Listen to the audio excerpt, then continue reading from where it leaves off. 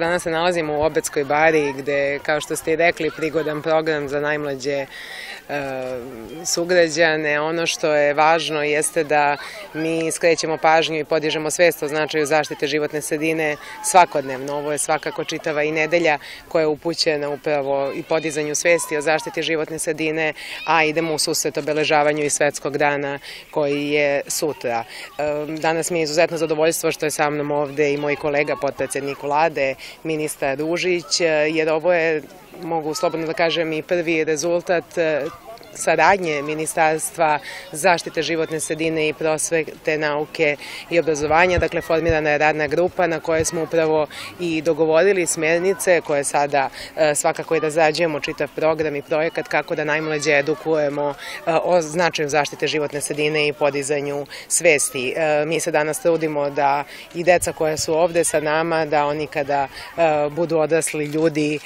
svakako skreću pažnju na značaj životne sredine godine. E, mi e, se snažno borimo sa istorijskim problemima koje smo zatekli kada govorimo o ovoj oblasti i mogu reći da u narednih pet godina ćemo imati kapitalne zelene projekte koji će promeniti sliku Srbije kada govorimo o zaštiti životne sredine. Mi se danas nalazimo u zaštićenom području Obetskoj bari koje je drugo e, i zaštićeno u svetu, dakle sa velikim istorijskim značajem. Ministarstvo brine o zaštićenim područjima i odvajamo značajna sredstva, dakle 250 miliona dinara je već prebačeno uh, u ovaj, nacionalne parkove i zaštićene, uh, i zaštićene prostore. Naravno da ćemo se truditi da u narednom periodu još više ulažemo i još više brinemo o tome. Takođe menjamo i zakon o zaštiti prirode gde će i zaštićena i područja biti i povećan stepen uh, i zaštite i svakako i povećan stepen teritorija kada govorimo o ovakvim područjima.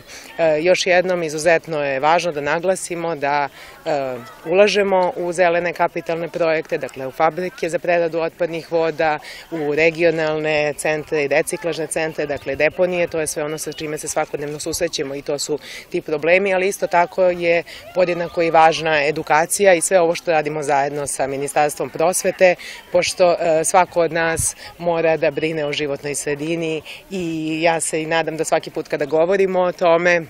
i svaki put kada promovišemo i zdraviju životnu sredinu i bolji standard ljudi e, kroz nju, da će svako od nas da kontroliše sebe i da ovaj, se trudimo da čuvamo prirodu što više možemo. Vi vidite kakav je ovdje biodiverzitet i kako izgleda ovo ovaj, zaštićeno i područje i nadam se da, evo koliko sam pričala sa rukovodiocima u